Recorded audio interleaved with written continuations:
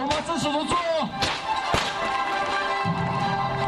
让我们现场响起最热烈的掌声，来共同见证这激动人心的时刻，也让我们共同祝贺程程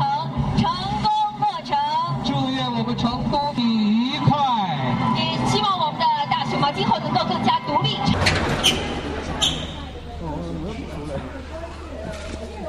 这两只大熊猫，你看，刚刚来到新家，从用室内环境到手出自然环境，跟它们之前的这个计划，应该是这个双猫的姐妹花当中的妹妹，也就是我们看到的这个是双猫当中的姐姐静雅。之前呢，